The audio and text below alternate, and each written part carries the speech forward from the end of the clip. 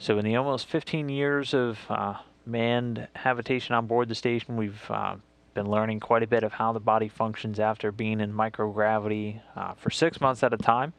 Um, simple tasks like walking or even turning a latch or a lever um, or standing from a seated position may sound easy, but for crew members, what, right after they return from space, it can be a little more difficult. Uh, we're learning how those tasks are going to be affected um, even more after spending a year in space uh, with the one year mission. So, uh, Lori Meggs out at NASA's Marshall Space Flight Center visited the Neuroscience Lab at Johnson Space Center here, where crew members undergo pre and post flight analysis as part of the functional task test. I'm here with Jacob Bloomberg. We're in the Neuroscience Lab at Johnson Space Center. Jacob, what goes on here?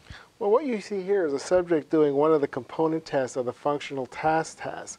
And this test is really focused on the ability of astronauts to egress a vehicle after a long duration spaceflight. So you can see our subject unbuckling the belt, standing up, and negotiating an obstacle course. Here, simulation through a portal. And then you'll see our subject walk through the pylons, turning while she walks through there, which challenges the balance control system. And then you'll see her walk up this ramp, which again simulates an active uh, performance activity. And that completes the task. It looks like a simple task, but thank you, Aaron. Great job. Um, but what are we learning from this?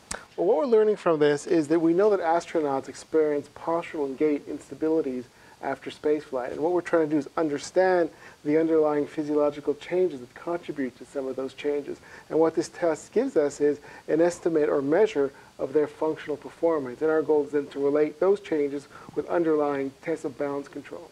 And you've finished this with 13 subjects. What have you learned? Well, what have we learned? We've learned that um, when we look at all our tests as a composite, those tests that have a balance challenge, like what you've seen, are the tests that, uh, that have the greatest change in performance.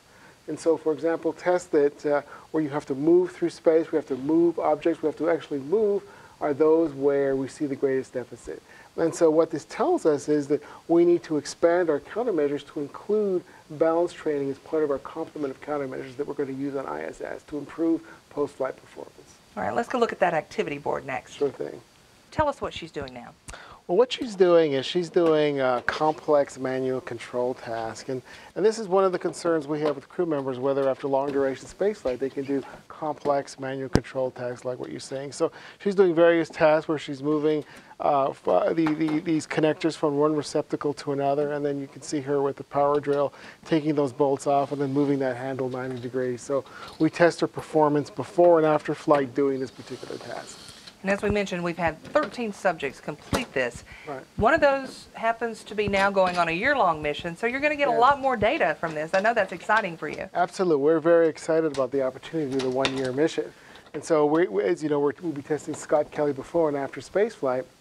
And we've had the opportunity to pass the testing on this particular test after six months. So we'll be able to compare the six-month data with the one-year data to see if there's any differences between them. All right, I know there are a lot more tasks, and I think I see one that I might be able to do over here. I don't know.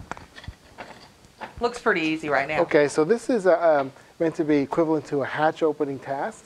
So your task will be to move that wheel as many times as you can in 20 seconds. Move it as many times as I. can. Oh, okay. as if you're opening a hatch. There I think they go. put something on this. Yeah, it's got a bit of resistance in there. And we, And this is something that is really going to be important on the long duration mission. absolutely, Got to be able to open a hatch. absolutely. It's an important task for us to be able to look at. Thank you so much for showing us around today. You're Can't wait very to learn more from the one year mission. Sure thing.